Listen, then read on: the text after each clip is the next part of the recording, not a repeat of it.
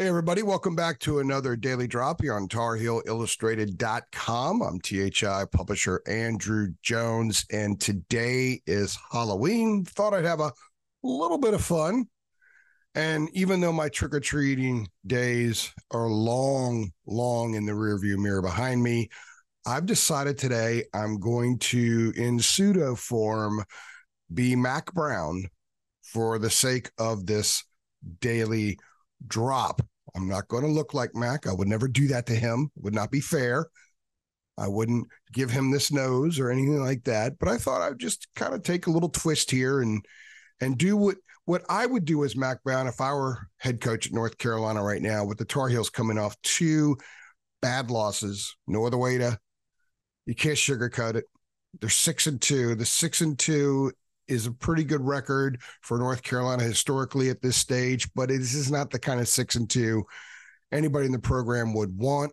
I don't think anybody in the program accepts it, especially considering the fact that in the last two games, the Tar Heels have blown double digit second half leads to two teams that went into those games with combined records of 4 9.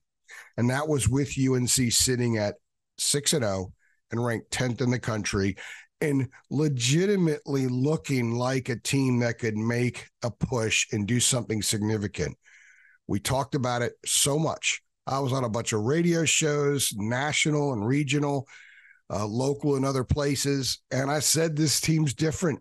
Kirk Herbstreit said this team is different. Rick Neuheisel said this team is different, but maybe they're not. We don't know. We'll know truly how different this team is after the NC State game. And now I'm going to put on my Mack Brown coaching hat. If even, I guess he does wear a hat when he's coaching in, in games. Here's what I would tell the team if I'm addressing a team right now. I would focus more on the defense, obviously, because by the way, they have now dropped to number 100 nationally in total defense. I think going into the Miami game, they were 35th. This is a free fall. And before I put my Mack hat on, I asked him in the press conference Monday, I described it as falling off a cliff. I couldn't really think of another way. And I went back to what I said in the three things with Brandon after the game Saturday night down in Atlanta. And it it it seems like a defense that has fallen off a cliff. Because if you go back in the last nine quarters, beginning with the fourth quarter against Miami, they've given up almost 1,300 yards. A lot of points. Miami scored two touchdowns in that quarter. Virginia had 31 points, should have had more. Georgia Tech 46 points. So I think, yeah, from 35 to 100 that quickly fell over a cliff. All right. So here's what I'd say to the team. And I'm not going to do a Mack impression. I'll leave that to some others in the media. You're losing at the snap. Defensively, they're getting beaten off the snap. What's amazing to me is the team we saw defensively in the third quarter against Miami has been nowhere to be found since then. They were pretty good in the first quarter uh, Saturday night because they got off the field on a couple fourth downs. But the truth is, Georgia Tech had at least one first down on 12 of its 13 possessions. Some of us in the press box were talking about, you know, the Jackets are moving it a little bit but but stalled. Carolina was able to get off the field, and ultimately, the most important statistic is points scored for offense and points allowed for defense. So as long as they kept them out of the end zone, they could rack up as many yards as they want. Wouldn't matter. So they did their job, but it wasn't a work of art. It wasn't the third quarter against Miami. That was the best quarter, most physical quarter defense I've seen from a UNC team since Butch Davis was head coach but they're losing at the snap. They're also not making their run fits, and part of that is losing at the snap. I mean, it's a cascade that begins up front, but the other guys aren't.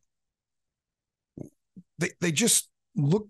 Quite frankly, I can go back to confusion in pre-snap because they were confused Saturday night in pre-snap. Cedric Gray told us so after the game. But if they're not losing at the if they're not winning at the point of attack and they're losing too often, and they're they're letting themselves get blocked. When I say that, it's not like they say, okay, go ahead and block me. It's what they're doing at the snap isn't winning in that moment. So therefore they're being blocked. and it makes the job that much tougher. It makes it that much harder to make their fits. Mack talked a lot Monday about making fits. We got to make our run fits better. They're also getting out tough. Virginia was more physical. And again, this is part of losing at the snap. This is part of not making your run fits. Virginia was more physical. Georgia Tech was more physical. I thought Carolina played hard, but Georgia Tech was more physical. Their offensive line had a field day. Carolina had no sacks. They had a couple TFLs. That's it. Georgia Tech ran like crazy in that fourth quarter, 246 yards rushing in that quarter. That's not being tough. So you guys need to be tougher. That's right. I'm Mack speaking to the team. The staff needs to adjust more. Gene, you need to adjust more. Why were you in nickel with two and a half minutes left in the game when this team was running the ball down our throats? You stayed nickel, they kept running it down our throats. Maybe make an adjustment there. I'll go back to being AJ for a second. I asked Gene Monday about the adjustments, about how they were working so well through the first six games. And the Miami game going back that third quarter is a classic example. But and I wrote a piece about the adjustments. And I did a podcast about the adjustments. And when I was on those radio shows, I talked about the adjustments because Gene had figured some things out recognized what he was doing a year ago wasn't working. So he made his own personal adjustments and he was communicating to an older team, a smart team, a mature team, a team with leaders like Gray and Huzzie and Rucker and Echols. And suddenly that's not happening. That communication is not happening. So put my Mack hat back on. Gene, you've got to make these adjustments. You've got to communicate them to the sidelines that dialogue that you've told us that has been like coach talking to coach when you talk to Cedric when he comes over, that's got to be great. That can never just be good. It has to be great. The adjustments have to be made. And I'll sidebar for a second. Gene did say uh, Monday when guys are in stress situations, it's a little tougher to do it. Okay. Mack would tell him, you're still going to make it happen. It doesn't matter what the circumstances are. The offense has to score, defense has to get stops. And if adjustments need to be made, make the adjustments for the offense. You guys leave too many points in the field. They scored a ton, but they should have scored more. Fourth and seven, ball at the 21. They attempt a field goal when they're up 42 39. Is that maybe a situation where you guys should be more aggressive? Chip Lindsey said Monday that if there was maybe a few yards, a few less yards to go for the first down, they probably would have gone for it. Maybe. The defense wasn't stopping Georgia Tech. Moving that to a six point game, I don't know if that would have done much. So maybe that aggressiveness that we were told earlier in the year was going to be a part of things should be there. But maybe with the offense not scoring touchdowns in the fourth quarter this year, maybe Mack figured that he would just take the points while he could. So, Mack back to the offense. Stop leaving points on the field. They kick field goals late in the fourth quarter or throughout the fourth quarter against Pittsburgh. Field goals against Syracuse. Didn't do anything. Didn't score touchdowns against Miami. The one touchdown scored Saturday night in the fourth quarter was the first fourth quarter touchdown since the Minnesota game on September 16th. Offense is leaving points on the field.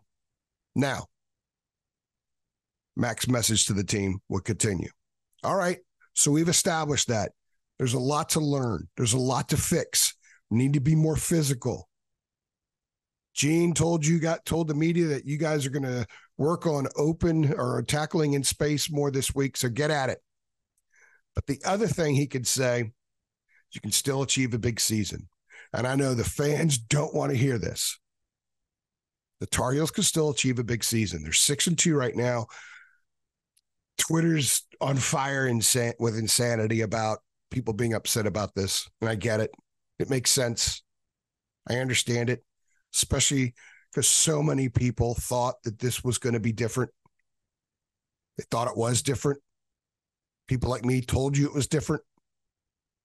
So Mack's message to the media, message to the fans was, hey, six and two. A lot of schools would like to be this.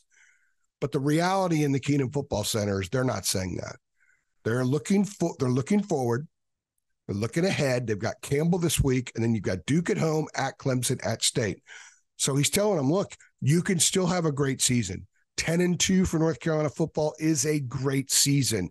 And if they close if you guys close out winning these last four, it means you'll beat your two biggest rivals and you'll win on the road at the program that has been the standard in this league for the last decade. One of the three best programs nationally in the last decade. So that's a pretty solid way to end the regular season. The seniors have a ton to play for. Guys like Drake Maye, who'll be playing his last few games at Carolina, he's got a ton to play for. Go on a winning note. Mack told us all off season nine wasn't enough. Well, they're six and two with four left. Got to win all four to not be at nine. Got to win all four to not be at nine. So get back on track this week. Staff, make the adjustments that need to be made. Larry Porter, about those punt blocks, fix it, man. Fix the shield. The shield is an issue.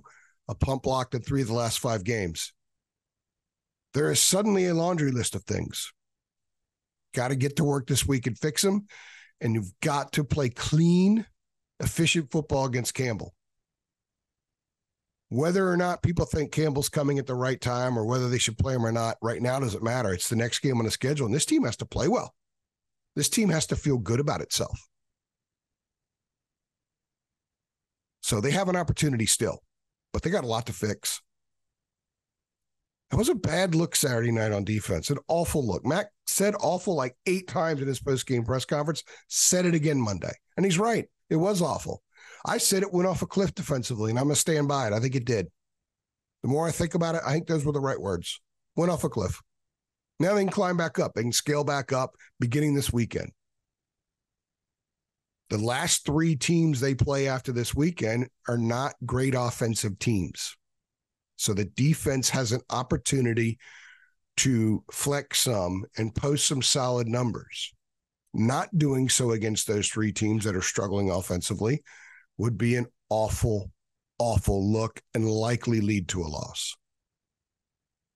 So, guys, there's a lot to play for. They still have a chance to go to a solid bowl. 10 and 2 in a month from now.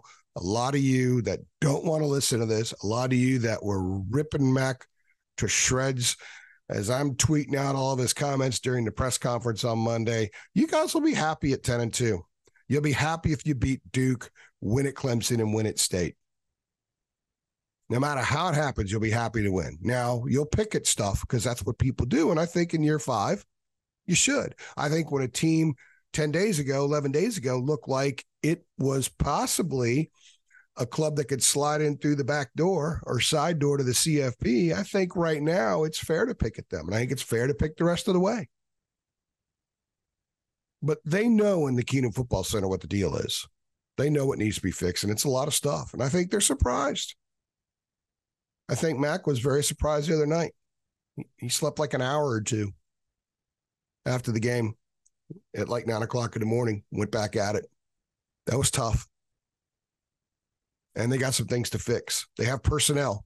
They've shown everybody what they can do. Now they have to do it. So, in my modified attempt at being Mack Brown talking to the team, that's the message. There's a lot of stuff there, but the composition on the roster, the plan that we've seen work before should be good enough for them to close this season strong. There's still a lot to play for. And who knows? In a month from now, we could be talking about, boy, how on earth did that happen for two weeks? Or it could be the beginning of something unpleasant. Or it could go off in another direction. College football can be that way sometimes. Anyway, let me know what you guys think. Is there something I missed? Is there something that you would emphasize? Maybe I didn't emphasize as much. Do you think the last two weeks are just too bad? What the heck weeks? And you're going to toss them out and you think this group will finish strong?